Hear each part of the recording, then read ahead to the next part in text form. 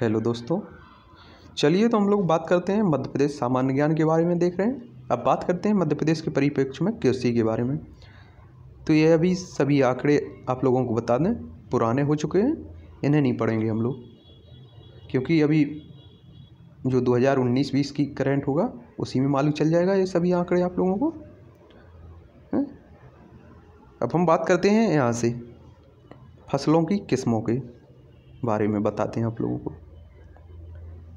धान धान की किस्म क्या है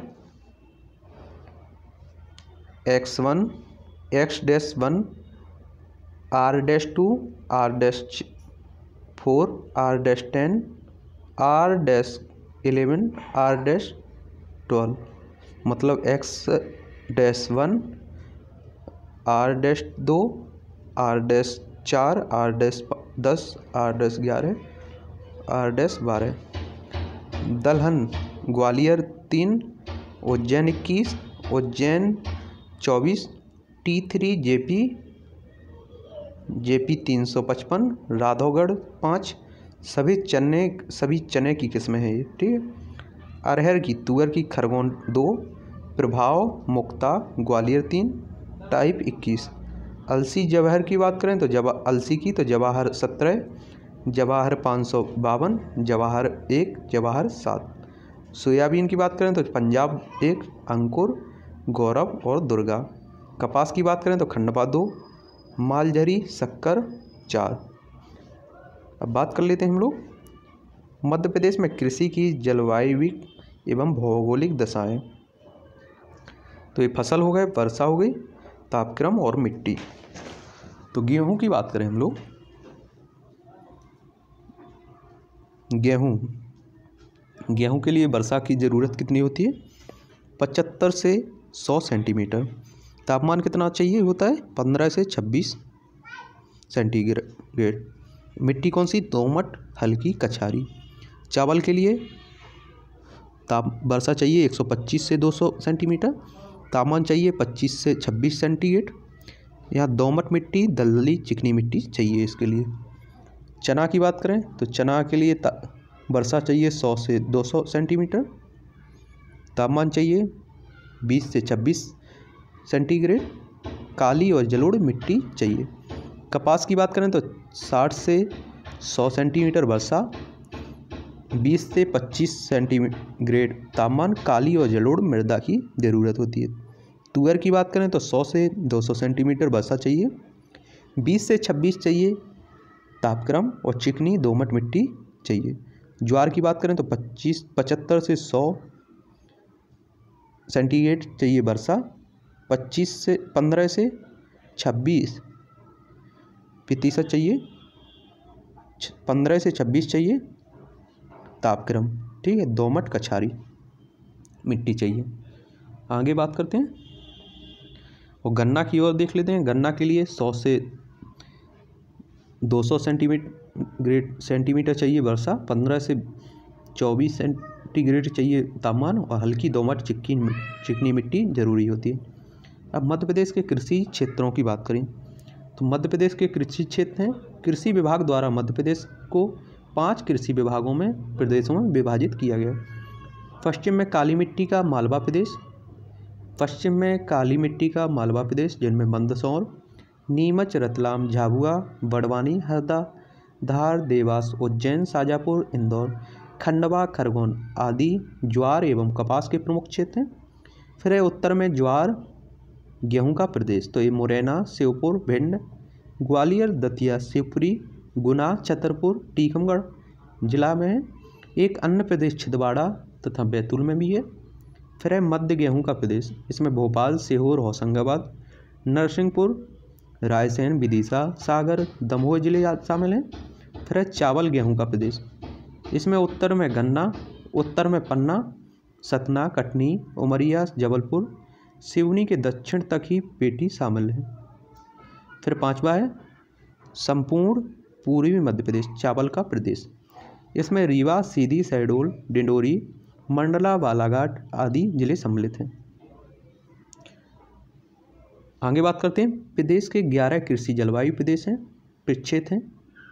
जिनमें भोपाल, जबलपुर, रीवा, ग्वालियर, सागर, इंदौर, खंडवा, झाबुआ, रतलाम, सिवनी, बैतूल शामिल हैं। ठीक है? फिर है मध्य प्रदेश में ऑपरेशन फ्लड। मध्य प्रदेश में 1980 से आनंद मॉडल से प्रेरणा लेकर ऑपरेशन फ्लड के द्वितीय चरण को प्रारंभ किया गया था। सूरज धारा योजना। ये अनुसूचित जाति के लिए लघु एवं सीमांत कृषकों को अलाभकारी फ़सलों अथवा कृषकों के स्थान पर लाभकारी दलहनी या तिलहनी फ़सलों, उन्नत एवं विपुल उत्पादन देने वाली फ़सलों के बीच उपलब्ध कराना है। फिर महत्वपूर्ण बिंदु मध्य प्रदेश के परिप्रेक्ष्य में देखते हैं।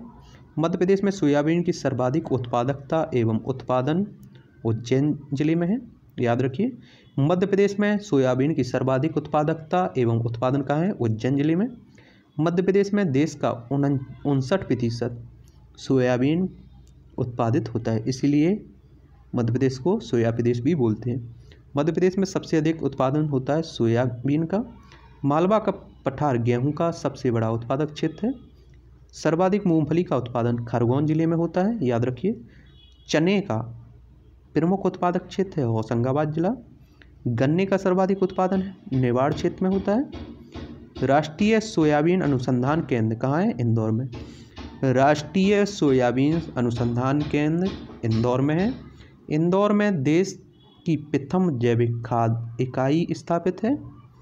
अपशिष्ट से जैविक खाद संयंत्र ग्वालियर में है। सहकारी क्षेत्र में कीटनाशक संयंत्र कटनी में है। याद रखिए। आगे देखते हैं। प्रदेश में पीली क्रांति का संबंध सरसों, अलसी और सोयाबीन के उत्पादन से है। महिला किसानों के प्रशिक्षण की योजना, डेनमार्क सरकार की सहायता से संचालित है मध्य प्रदेश में। रबी की फ़सलों को उनालू भी कहते हैं। याद रखिए, रबी की फ़सल को, फ़सलों को उनालू कहते हैं। यह फ़सलें अक्टूबर, नवंबर में बोई जाती हैं तथा मार्च, अप्रैल में काटी जाती हैं। ठीक है? रबी की फ़सलों में गेहूँ चना, मटर, अलसी, त्योड़ा, सरसों आदि प्रमुख हैं। खरीफ की फ़सलों को स्यालू कहते हैं। याद रखिए, रबी की फ़सल को उनालू कहते हैं और खरीफ की फ़सल को स्यालू कहते हैं। ठीक है? यह फ़सलें जुलाई, अगस्त में बोई जाती हैं और नवंबर, दिसंबर में काटी जाती हैं। खरीफ की फ़सलों में चावल, मक्का, बाजरा, उड़द, मूंग, तुअर, कपास, तिल, मूंगफली, सोयाबीन, ज्वार शामिल हैं। रबी व खरीफ के मध्य में उगाई जाने वाली जायद फ़सलें खरबूज, तरबूज, ककड़ी, खीरा की फ़सलें, हरी तरकरी, सब्ज़ी, प्रमुख जायद फ़सलें विश्व में सर्वा, प्रदेश में सर्वाधिक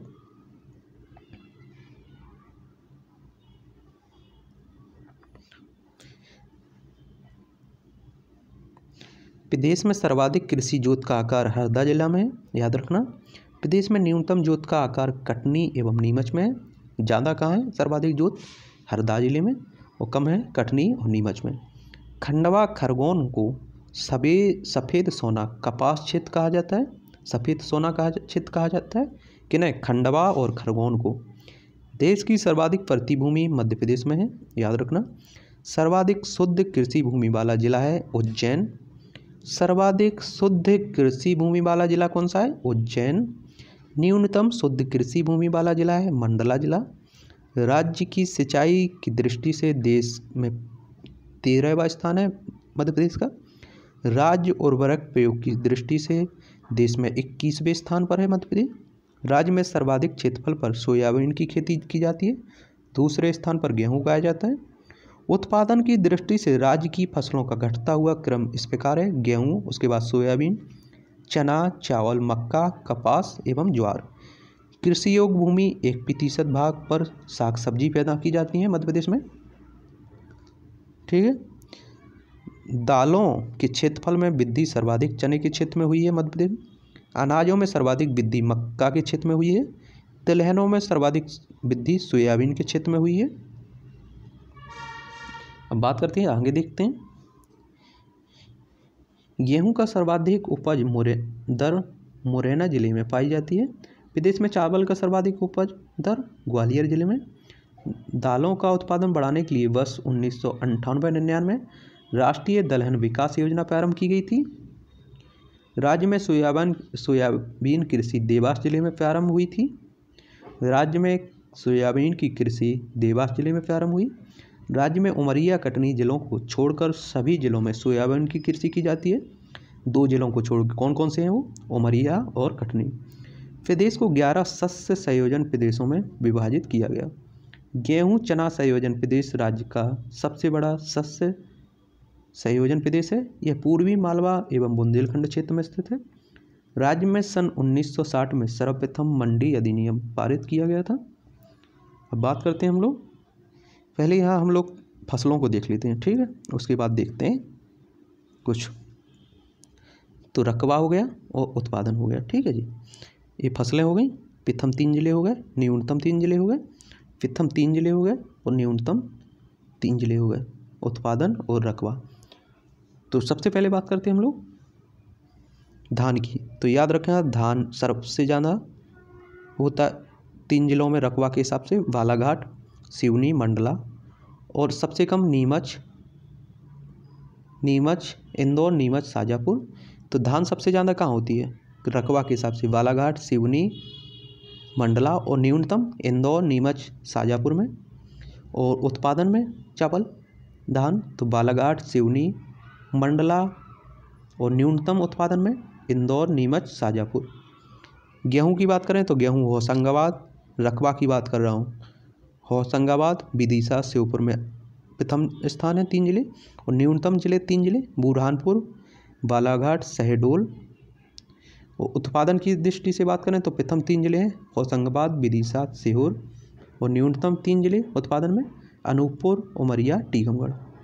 फिर चना की बात करें हम लोग। चना में है उज्जैन, सागर, विदिशा प्रथम तीन ज़िले रकबा में और न्यूनतम है बुरहानपुर, अनूपपुर शहडोल उत्पादन में है उज्जैन, सागर, विदिशा सबसे ज़्यादा प्रथम पर और न्यूनतम पर है शहडोल अनूपपुर, बुरहानपुर। मक्का की बात करें तो छिदवाड़ा, झाबुआ, धार है रकबा के हिसाब से प्रथम तीन ज़िले। और न्यूनतम तीन ज़िले हैं मुरैना, भिंड, ग्वालियर।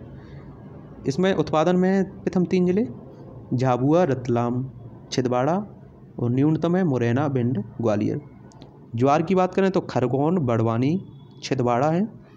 रकबा के हिसाब से प्रथम तीन ज़िले, न्यूनतम तीन ज़िले हैं, बालाघाट, मंडला, डिंडोरी। उत्पादन के हिसाब से खरगोन, बड़वानी, छिदवाड़ा, बालाघाट और मंडला, डिडोरी ये तीन ज़िले न्यूनतम हैं। सोयाबीन की बात करें तो उज्जैन, रकबा के हिसाब से प्रथम तीन ज़िले उज्जैन शाजापुर सागर। न्यूनतम है सिंगरौली, भिंड, बालाघाट। उत्पादन की दृष्टि से प्रथम तीन ज़िले उज्जैन शाजापुर सागर, न्यूनतम तीन ज़िले सिंगरौली, भिंड, बालाघाट। सरसों, राई सरसों के हिसाब से रकबा में प्रथम तीन ज़िले मुरैना, भिंड, मंदसौर। न्यूनतम है खरगोन, रायसेन, होशंगाबाद। उत्पादन में प्रथम ज़िले मुरैना, भिंड, शिवपुर। न्यूनतम है होशंगाबाद, भोपाल, रायसेन। कपास की बात करें तो खरगोन रकबा में प्रथम तीन ज़िले खरगोन, धार, खंडवा, न्यूनतम है नीमच, उज्जैन, श्योपुर और उत्पादन में प्रथम तीन ज़िले खरगोन, धार, खंडवा, न्यूनतम है नीमच, उज्जैन, श्योपुर।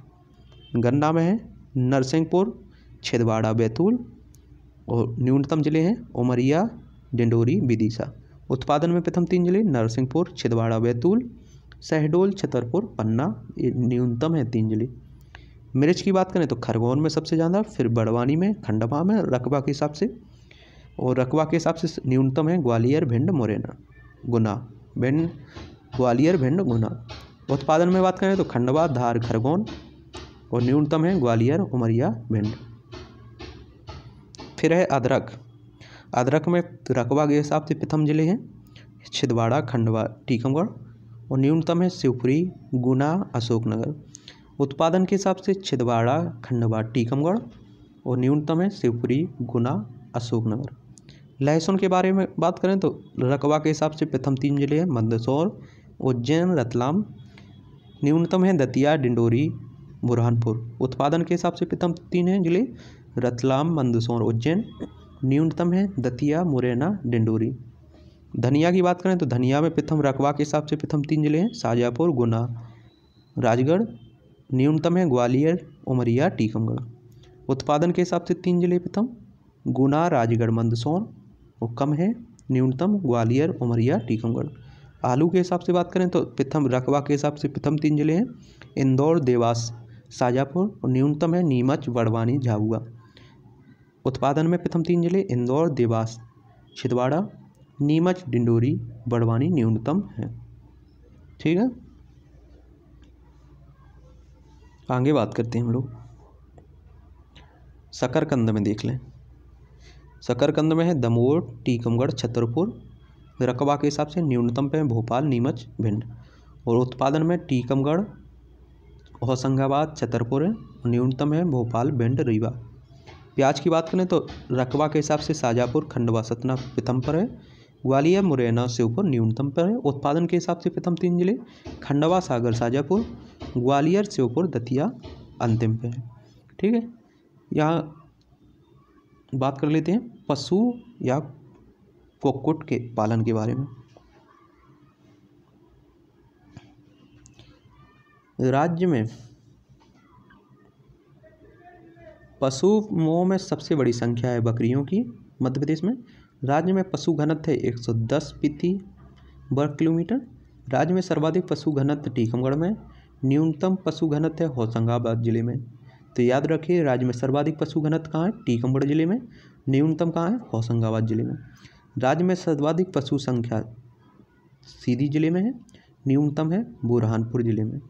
राज्य में सहकारी डेयरी विकास कार्यक्रम की शुरुआत 1975 में आनंद पद्धति पर की गई थी। मध्य प्रदेश में कृषि विभाग का नाम बदलकर किसान कल्याण तथा कृषि विभाग कर दिया गया है। मालवा पठार को प्रदेश का गेहूँ भंडार कहा जाता है। मालवा पठार को क्या कहा जाता है? प्रदेश का गेहूँ भंडार। मध्य प्रदेश में सर्वाधिक नाइट्रोजन उर्वरक, उर्वरकों का प्रयोग किया जाता है। मध्य प्रदेश में, मध्य प्रदेश भूमि विकास निगम की स्थापना उन्नीस सौ सतहत्तर में हुई।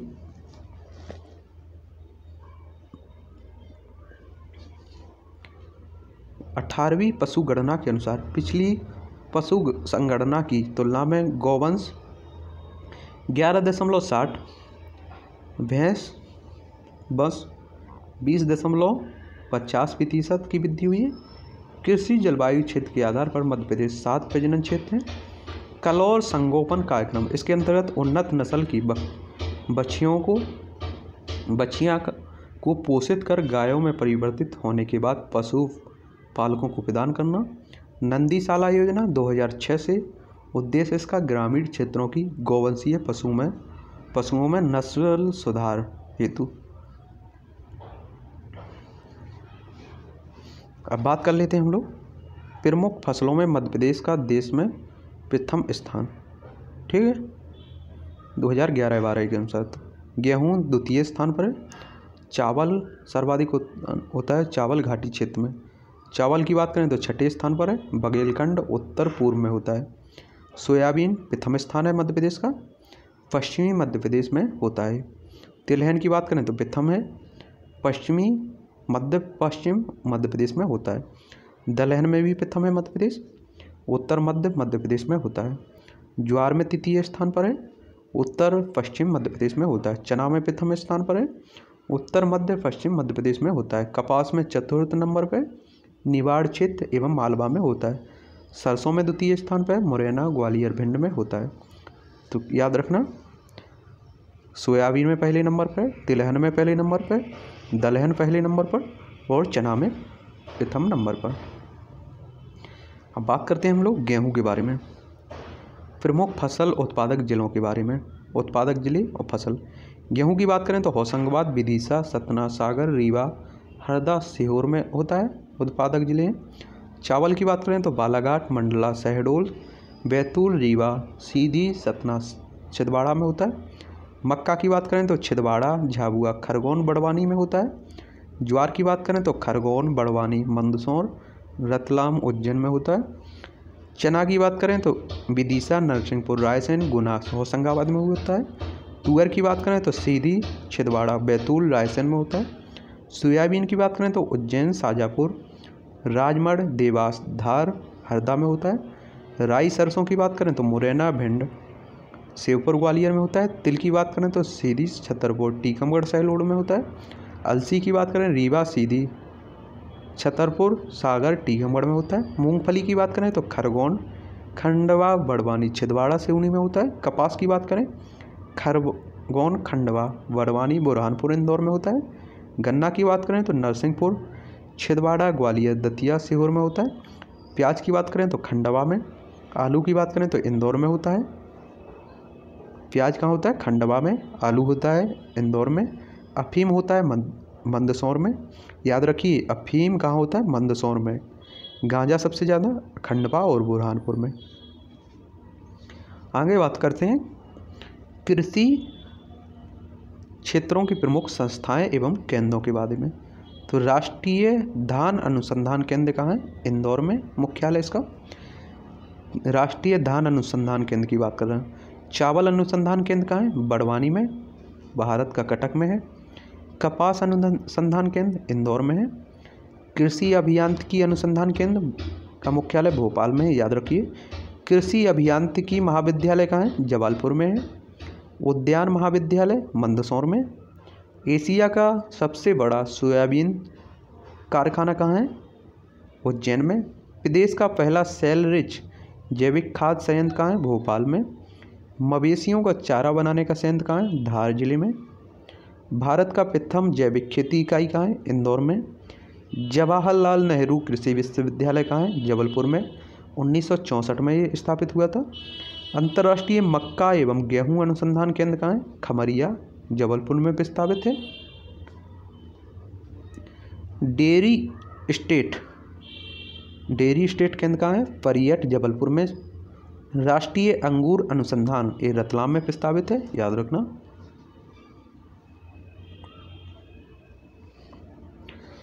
अब देख लेते हैं मध्य प्रदेश के कृषि प्रमुख संगठन एवं योजनाएँ। मध्य प्रदेश बीज तथा फार्म विकास निगम ये 1980 में स्थापना हुई इसकी, भोपाल में। मध्य प्रदेश कृषि उद्योग विकास निगम उन्नीस सौ सत्तर में इसकी स्थापना हुई। याद रखना, मध्य प्रदेश राज्य भंडार गृह निगम उन्नीस में इसकी स्थापना हुई। लघु कृषक विकास अधिकरण उन्नीस सौ इकहत्तर में इसकी स्थापना हुई। भूमि विकास निगम उन्नीस सौ सतहत्तर अठहत्तर में इसकी स्थापना हुई। राज्य पशुधन एवं कुक्कुट विकास निगम उन्नीस सौ बयासी में इसकी स्थापना हुई। सहकारी डेयरी विकास कार्यक्रम उन्नीस सौ पचहत्तर में इसकी स्थापना हुई। मध्य प्रदेश राज्य बीज प्रमाणीकरण संस्था उन्नीस सौ अस्सी में इसकी स्थापना हुई। मध्य प्रदेश राज्य कृषि विपणन बोर्ड उन्नीस सौ बहत्तर में इसकी स्थापना हुई थी। बलराम ताल योजना 2007 में इसकी स्थापना हुई।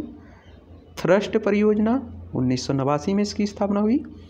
राष्ट्रीय कृषि बीमा योजना उन्नीस सौ में इसकी स्थापना हुई। उद्यानिकी मिशन 2006-7 में इसकी स्थापना हुई। अन्नपूर्णा सूरज धारा योजना 2001 2000 2001 में शुरू हुई। ठीक है? अब बात कर लेते हैं मध्य प्रदेश में पशु संख्या। तो बकरी की लाख में देख रहे हैं प्रतिशत में। तो छिहत्तर दशमलव सड़सठ लाख है, बाईस दशमलव साठ प्रतिशत। बैल की बात करें तो सड़सठ दशमलव तिरासी लाख, बीस प्रतिशत हैं बैल। बछड़ा बछड़ियों की बात करें तो संतावन दशमलव चौवन लाख सोलह दशमलव नब्बे प्रतिशत है। गाय की बात करें तो चौवन दशमलव बावन लाख, चौवन दशमलव बाईस लाख सोलह प्रतिशत है। भैंस की बात करें तो सैंतीस दशमलव पाँच लाख, दस दशमलव नब्बे प्रतिशत है। पाड़ा पड़ियों की बात करें तो तीस दशमलव तिरानवे लाख, नौ दशमलव दस प्रतिशत है। भेड़ की बात करें तो पाँच दशमलव छियासी लाख, एक दशमलव सत्तर प्रतिशत है। शुगर की बात करें तो पाँच दशमलव बयासी प्रतिशत, एक दशमलव पाँच दशमलव बयासी लाख है। और प्रतिशत कितना है? एक दशमलव सत्तर प्रतिशत। भैंसा की बात करें, तीन दशमलव दो लाख, ज़ीरो दो लाख है और ज़ीरो ज़ीरो दशमलव नब्बे प्रतिशत है। घोड़े की बात करें तो ज़ीरो ज़ीरो प्रति नब ज़ीरो ज़ीरो दशमलव नब्बे प्रतिशत, नब्बे लाख प्रतिशत में बात करें तो ज़ीरो ज़ीरो तीस प्रतिशत।